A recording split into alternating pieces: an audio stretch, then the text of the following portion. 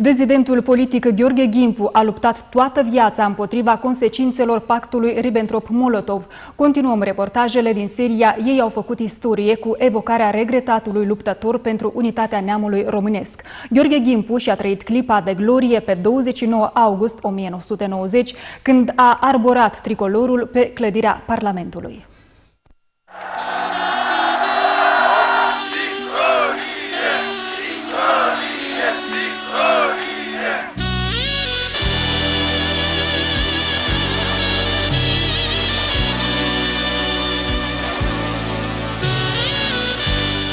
Adunare Națională a Moldovei declară limba de stat se folosește pe baza grafiei latine.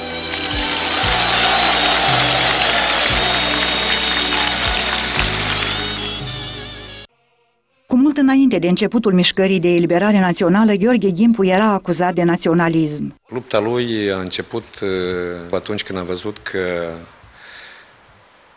Moscova politică, sovietică, comunistă, a început uh, activ de a rusifica uh, copiii, populația, conștientiza că nu putem să stăm capul plecat, întotdeauna trebuie să existe o rezistență, dezidenți politici, fiindcă altfel uh, tăvălugul merge mai repede. Lupta și idealurile lui Gheorghe Gimpu au fost pedepsite cu șase ani grei de gulag care nu l-au înfrânt. După revenirea din închisoare s-a aflat printre fondatorii Frontului Popular Democrat, a fost deputat în primul parlament. Este recunoscut ca stegarul neamului, revenindu-i onoarea să arboreze pe 27 aprilie 1990 tricolorul. Bucurie fără margini pentru oamenii prezenți la eveniment. Bineînțeles că îl vedeam pe Gheorghe Gimpu cum uh, uh, arbora tricolorul. A fost un moment extraordinar pentru toată lumea, pentru mine, când am simțit uh, ace- în mine acea demnitate omenească și odată cu instaurarea acestui tricolor,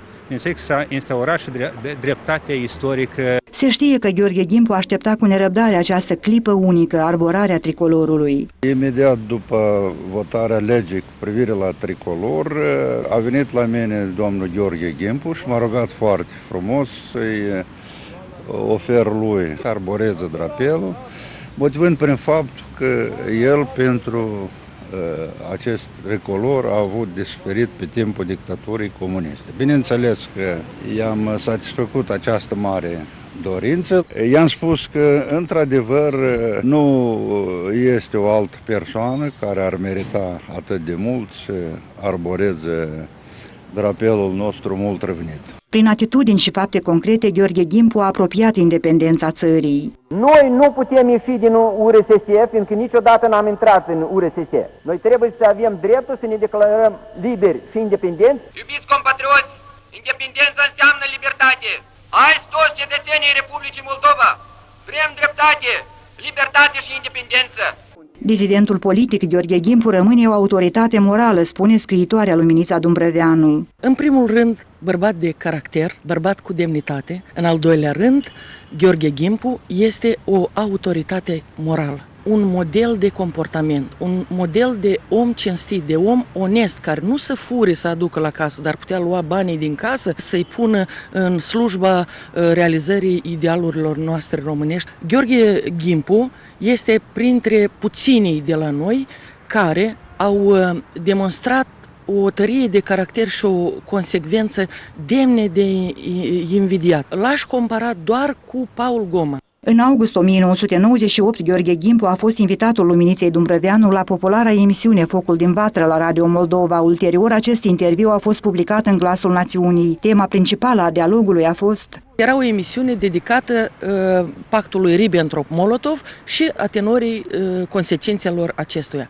El spunea uh, câteva lucruri care vor uh, răzbate uh, iarăși secole, că el crede într-un uh, uh, Nuremberg al comunismului, l-am întrebat dacă mai crede în unirea Basarabiei cu România. După ce aceste planuri au fost date peste cap, știm noi, în 89-91 mai ales, și el a spus, da, cred și sper că voi fi în viață când uh, uh, acest pământ uh, românesc se va reîntregi. Viața lui Gheorghe Gimp a fost dedicată românismului, rădăcinilor noastre de unde provenim.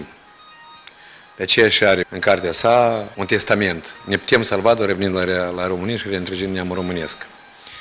Ăsta a fost uh, Gheorghe Gimpu, mă mândresc cu fratele meu, cu toți și cu Simeon. Gheorghe Gimpu întotdeauna a considerat că vectorul deci de dezvoltare a tânărului stat care a fost creat în urma proclamării independenței este vectorul european.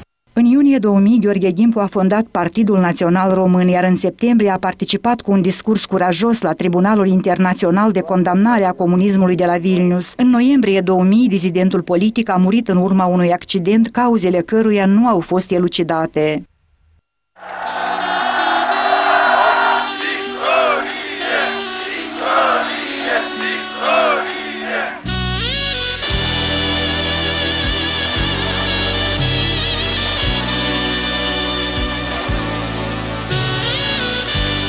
Marea Adunare Națională a Moldovei declară limba de stat se folosește pe baza grafiei latine.